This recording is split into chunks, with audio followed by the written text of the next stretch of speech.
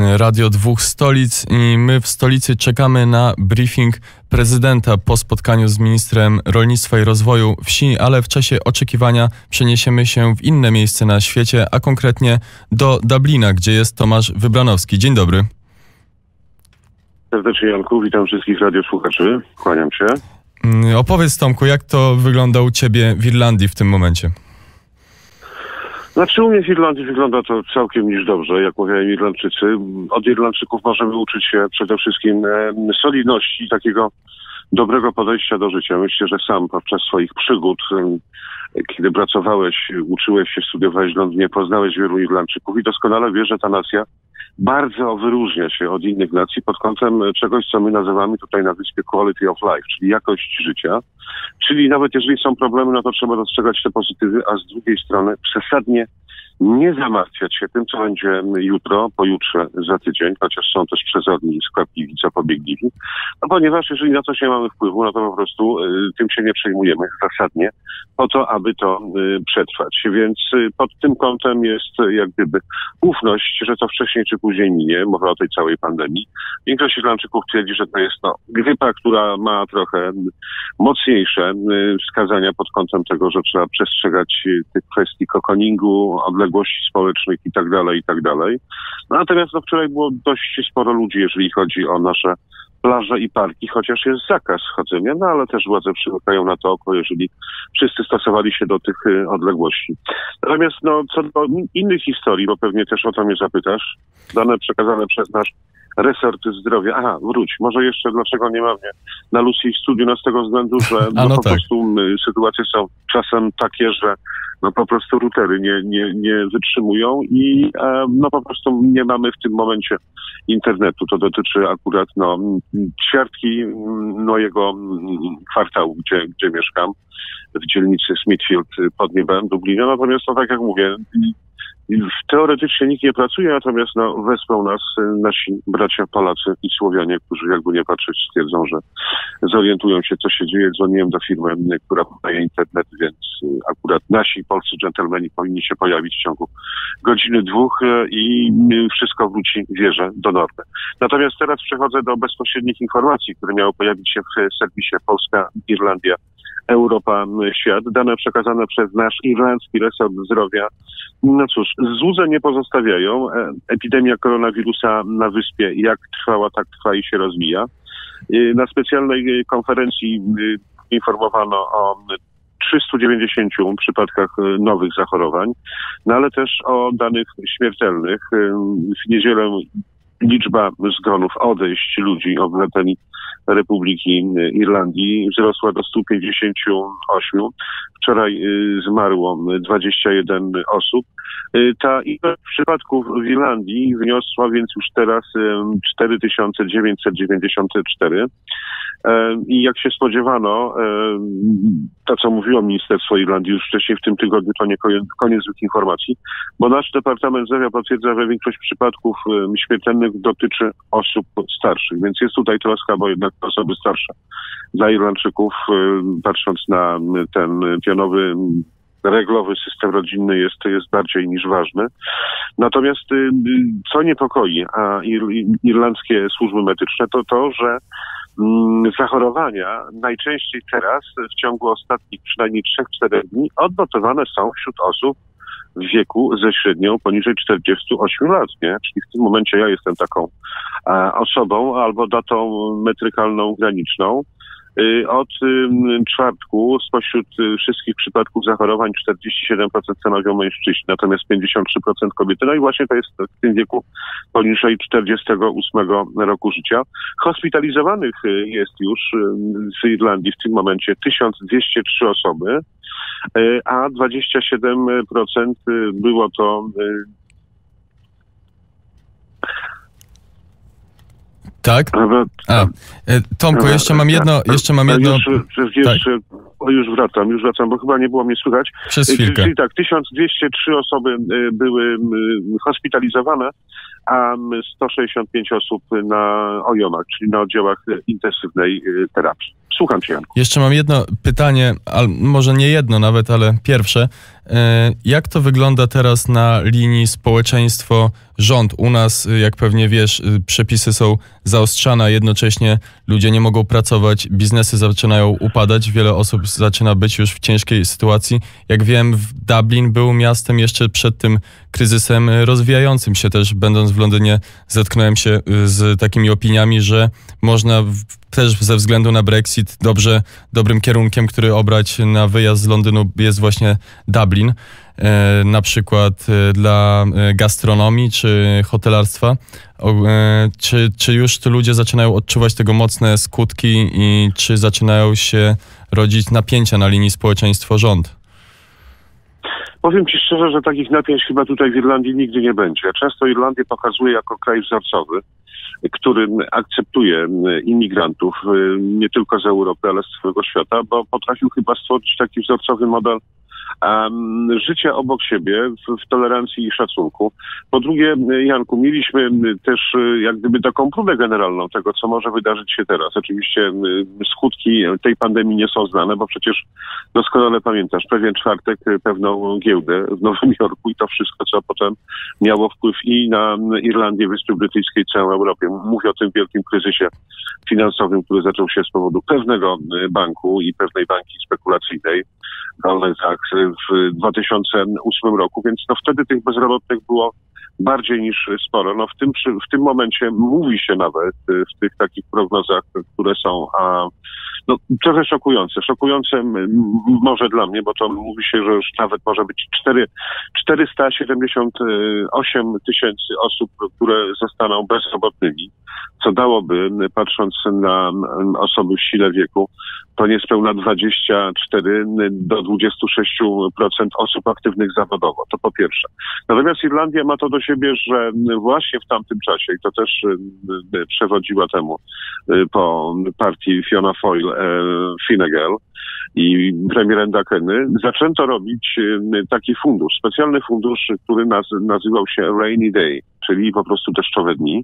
No i teraz korzysta się z tego funduszu. Oczywiście on miał być e, zużyty e, na to, aby w pewien sposób ograniczyć negatywne skutki Brexitu, bo Brexit tak czy tak e, na pewno się odbędzie. Natomiast nie wiemy, jak to będzie wyglądało w tym momencie z perspektywy Wielkiej Brytanii, która wiemy, co dzieje się w Wielkiej Brytanii, tam rzeczywiście ta pandemia zbiera żniwo. Natomiast co do samych napięć, tego, tych napięć nie ma. Powiem szczerze, że nielubiany premier Leo Varadkar, który sam jest lekarzem i zapowiedział, że wraca do czynnej praktyki zawodowej, aby wspierać e, swoich współobywateli i swoich rezydentów, bo też tak o nas mówi. Ja nie mam obywatelstwa irlandzkiego, więc wciąż jestem rezydentem, może mieszkam tutaj 16 lat. Więc jest, są to pozytywne objawy, tak? Czyli e, po pierwsze, rząd e, szybko zareagował na to, co się dzieje. Rząd szybko wprowadził te wszystkie kwestie isolation, czyli, czyli izolacji społecznej i aby przestrzegać tego kokoningu, jak my to mówimy, czyli siedzimy w kokonach, siedzimy w domach, y, wychodzimy tylko wtedy, kiedy trzeba i tak dalej. Chociaż nie do końca jest to prawda, bo sam wielokrotnie byłem na spacerze i to na dłuższym dystansie niż 2000 metrów, no ale mnie strzeże legitymacja dziennikarska radiowa. Czy, czy kary też są, czy są zarządzane, są zarządzane kary? Również tak jak u nas, że można y, dostać od, y, u nas od 500, czy teraz już nawet 5 tysięcy złotych kary za nieuzasadnione przemieszczanie się? Wiesz co, wiesz co, nic takiego nie ma. Policja Garda Irlandzka, to w ogóle, Garda Sjohana z języka irlandzkiego, no to stróże pokoju, tak? Czyli oni raczej nie mają broni, jeżdżą na rowerkach albo chodzą w patrolach. Y, oni raczej uświadamiają, czasem pogrożą palcem. Natomiast jeżeli, jeżeli już są takie kary y, y, mocniejsze, drażliwsze, no to dla rodziców nastolatków, no, którzy rzeczywiście tego nakazu nie przestrzegają, no i wydaje, jak to wszędzie, nastolatki też mamy w Polsce nastolatków w Wielkiej Brytanii, w Stanach i oni nie różnią się wiele pod kątem obejścia savoir vivre innych historii, więc są wysokie kary, mandaty wlepiane wtedy, kiedy taki delikent, nie wiem, opluje kogoś na ulicy albo zachowuje się hałaśliwie, no albo stwarza zagrożenie podczas tej pandemii, kiedy to można przenosić. Mówiłem o tym w serwisie informacyjnym z Bogdanem Ferencem dokładnie w środę więc po prostu oburzenie na zachowanie nastolatków i tego typu historie, więc delikwent jest na chwilę aresztowany, przepytywany, gdzie też mieszka, wieziony pod skazany adres, no i wtedy rodzice martwią się, jak zapłacić mandat, jak zapłacić karę i potem martwić się, co z tego wyniknie. Natomiast generalnie y, o tym takim podejściu y, do rządu, no to wszyscy generalnie rząd chwalą. Oczywiście nasi rodacy często i być może narażę się naszym rodakom, ale o tym mówiliśmy w piątek w studiu Lubi z Bogdanem Ferencem, że często, często marudzimy, że można było zrobić. Oczywiście można było zrobić więcej, zawsze można było zrobić więcej. Natomiast wydaje mi się, że gdzieś tam czasami a jesteśmy takim narodem, który, który marudzi. Zresztą to widać na, no, na tych naszych forach internetowych. Ja czasami powiem to jeszcze przez chwilę tobie i słuchaczom, że z zaniepokojeniem czytam te różne wpisy, czy to jest y, wirtualna Polska, czy to jest Interia, czy to są jakieś inne wiodące nasze serwisy internetowe. I powiem szczerze, drodzy kochani rodacy, słuchacze Radia Wnet, nie dajmy się zwariować i bądźmy życzliwi, a jeżeli już chcemy komuś dokopać, to w sposób grzeczny, elegancki i podpisać się w, pod swoimi postami. Ja na przykład wszystkie swoje posty, a rzadko to robię, nie mam czasu, podpisuję własnym imieniem, nazwiskiem. Jeżeli ktoś ma odwagę cywilną napisać mocno, złośliwie, z obelgami, no to może napisać to grzeczniej, ładniej, w takim sam sposób, szukając innych słów i podpisując się imieniem, nazwiskiem. I powiem szczerze, że tego mi trochę brakuje, patrząc na chociażby na fora internetowe e, w wiodących serwisach e, cyberprzestrzennych w Irlandii, gdzie jest jednak poszanowanie godności, szacunku dla kogoś i tak dalej, i tak dalej.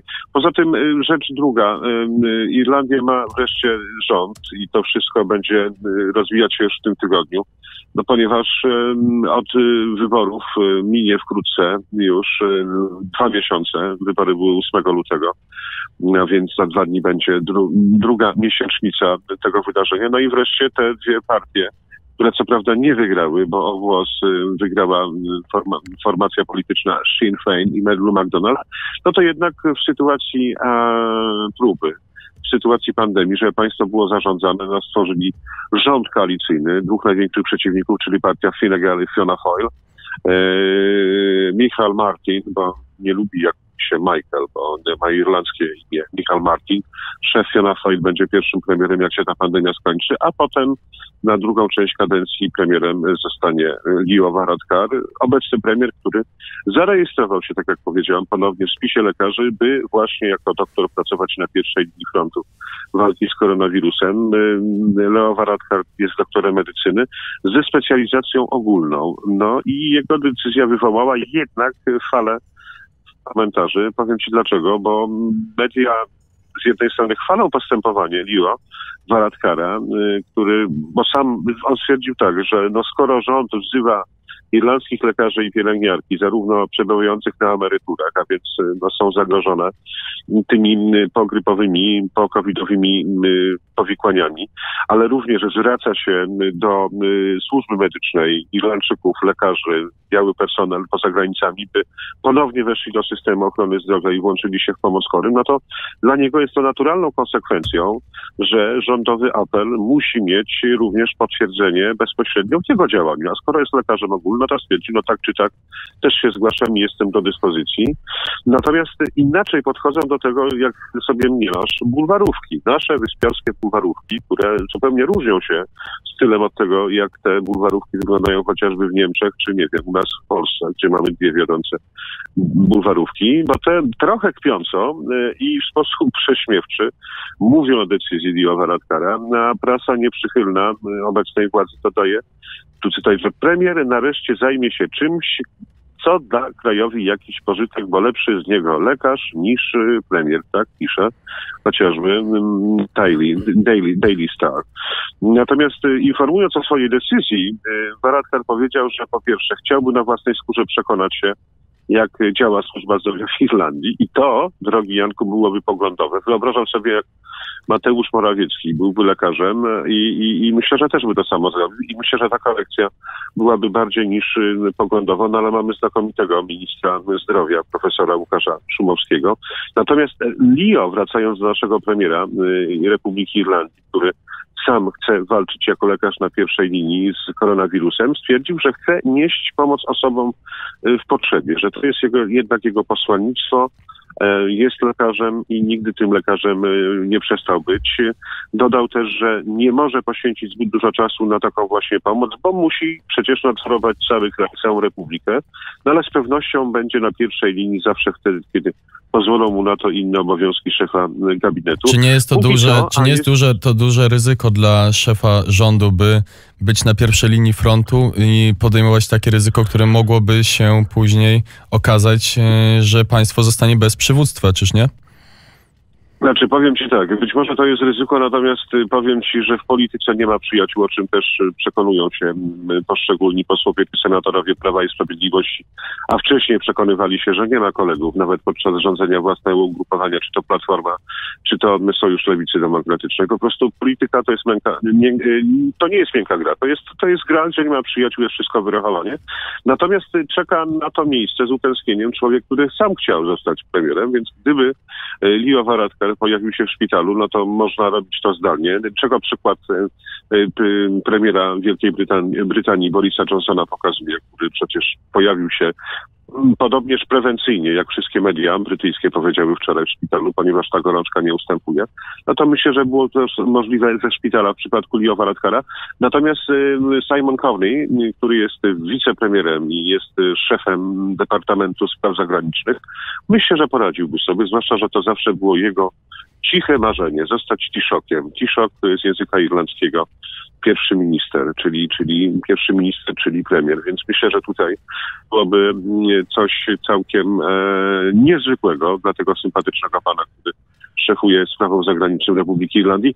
Natomiast wracając do tego, co ty mówisz, czy to nie jest zagrożenie? Wiesz co, też mi się wydaje, że Polika to jest wyrachowana gra i można gdzieś tam domniemywać, że, że, że w takim układzie też te słupki dla Lio, Lio Varadkara i, i Finnegal y, tąpną w górę. Więc myślę, że tutaj też gdzieś tam to było rozmawiane na, na szczeblu wysokopartyjnym, że słuchajcie, no skoro tak mówimy, sam jestem lekarzem, to faktycznie mam pracuję godzinę, dwie y, dziennie albo co dwa, trzy dni, no i tak info pójdzie w świat, że jestem. Chociaż nie podejrzewam e, w sytuacji próby Leo Varadkara o takie, takie, takie nieczyste zagrywki, ale wiesz, jest to jednak polityk. A co do samego zagrożenia, Leo jest ode mnie młodszy sporo, bo on jest rocznik 1979, więc ma niespełna 41 lat, więc myślę, że sobie poradzi, bo y, takich przypadków jednak, jakby nie patrzeć w całej skali, to jeszcze jedna uwaga, żeby nie dać się zwariować, czytać te statystyki. Ja wczoraj przytoczyłem w y, niedzielnym podsumowaniu tygodnia statystyki o zachorowaniach na grypę. No właśnie, może warto powiedzieć o tym, o tym jak, jak je czytać, jak czytać te statystyki i co warto z nich y, wysnuwać to przede wszystkim trzeba, trzeba patrzeć na, na to, że i wiedzieć o tym, że te koronawirusy, Janku, po pierwsze, one z nami są już jakiś czas, tak? Koronawirusy. Czy to jest A łamane na N1H1, czy to są inne wirusy grypowe. One były, są i będą, taka jest prawda. Pytałem mądrego lekarza irlandzkiego, mojego GP telefonicznie, słuchaj, co będzie z tym COVID-em? Powiedział, słuchaj, musimy się z nim oswoić i on już zostanie, skoro on się pojawił na świecie skoro on może zarażać ludzi, to ten COVID-19, on już będzie. Trzeba się uodpornić, trzeba znaleźć szczepionkę albo trzeba znaleźć jakieś lekarstwo, ale wiesz, to jest grypa. Na grypę nigdy nie będzie żadnego e, lekarstwa, po prostu trzeba się uodpornić, przeczekać, znaleźć szczepionkę, znaleźć lek, który to osłabi i izolować się. Tak, to jest zdanie mojego GP, czyli lekarza podstawowej opieki zdrowotnej. Jak czytać te mm, statystyki? No trzeba odwiedzać kilka mądrych mm, widzym, czy to zakładu epidemiologii, czy też y, statystyki rok do roku GUS-u, bo, no bo przecież jeżeli weźmiemy sezon poprzedni, który zaczynał się wcześniową porą, 2018 roku, a kończył y, przełom marca i kwietnia 2019 roku, no to w samej Polsce, drogi Janku, ty znasz te statystyki, bo, bo ty, Janek Oleński, cała ekipa to odrabia lekcje, no to przecież samych zachorowań w sezonie 2018-2019 na grypę było prawie 3 miliony 800 tysięcy przypadków, a, a sama sama, sama ilość zgonów w tamtym czasie tylko z ciężkich powikłań czy innych powikłań związanych właśnie z grypowymi objawami, zachorowaniami, no to była dokładnie 100, 140, 143 przypadki. Y, też nie wiemy w tym momencie, dlatego ja się bardzo cieszę, że Ministerstwo Zdrowia być może też od nas wzięło sobie do serca te informacje, kiedy mówiliśmy, pamiętasz ten apel, i z anteny Studia Dublin i, z- i z poranków net, aby Ministerstwo Zdrowia po, po, po, także po, op- opowiadało i podawało informacje, ilu jest zdrowych. No i w tym momencie z zadowoleniem trzeba powiedzieć, że te zbiorcze dane są po, podawane i powolutku liczba ozdrowionych y, rośnie. Poza tym y, rzecz, która jest bardziej niż ważna, nie możemy, nie możemy myśleć y, o tej chorobie, o, o COVID-19, o tej pandemii, jako coś, co nazywa się y, końcem świata, no bo przecież takie y, zdarzenia miały już miejsce w przeszłości, czy to chociażby ta y, choroba grypy hiszpanki, którą poka- pokazujemy za przykład i to wydarzyło się 100 lat temu z okładem, która no, spacyfikowała totalnie cały kontynent europejski. Czy o plagach, y, które szły sobie przez stare y, wieki średnie, przez średniowiecze y, ku czasom renesansu i baroku i zawsze to morowe powietrze, zawsze te zarazy, dżumy, cholery się pojawiały i dziesiątkowały. Natomiast chodzi o to, co też my możemy dać od siebie pod kątem tych historii, które nazywają się przyszłością, tak? A wie, ja wiesz, często wie, wiesz, co mi się wydaje? Że może Mhm. zos- zostawimy mały suspens i powiesz, co możemy dać od siebie, a najpierw e, posłuchamy e, piosenki. Posłuchajmy piosenki. E, To nie będzie The Cure. Przy mikrofonie Jan Gromnicki i wracamy do rozmowy z Tomaszem Wybranowskim z naszym studiem 37, ponieważ zbudowaliśmy mały suspens i Tomek miał opowiedzieć przed piosenką, a mam nadzieję, że dokończy teraz, e, co możemy zrobić e, jako ludzie w tej sytuacji całej ciężkiej. No przede wszystkim powinniśmy zrobić to, co nazywa się y, w Wielkim Poście czasem odkupienia, czasem pokuty i czasem medytacji. Czyli gdy to wszystko już się skończy, być lepszym dla siebie i lepszym dla innych, to proszę. Y, Po drugie, y, sprawić, że rzeczy wzoru były dla nas błahe, bo mogą być dla nas czymś ważnym, czyli czyli rodzina, czyli przyjaciele, czyli osoby, które są nam najbliższe i inne spojrzenie, że w tym czasie prób, Janek, sam zauważysz, okej, my mamy inny rodzaj pracy, natomiast my jesteśmy zapaleńcami, my jesteśmy furiatami, bo po pierwsze ktoś nam płaci za to, co uwielbiamy robić i możemy to robić 4 godziny na dobę. Natomiast y, jakby nie patrzeć, y, Uwaga, są uwaga. też w większości osoby, które robią zupełnie coś... y, Niestety, niestety musimy teraz, prze. Tomku, na chwilę przerwać, ponieważ mamy połączenie be- i posłuchamy briefingu prezydenta Rzeczypospolitej Andrzeja Dudy. I do rozmowy z Tomaszem Wybranowskim na pewno jeszcze dzisiaj wrócimy.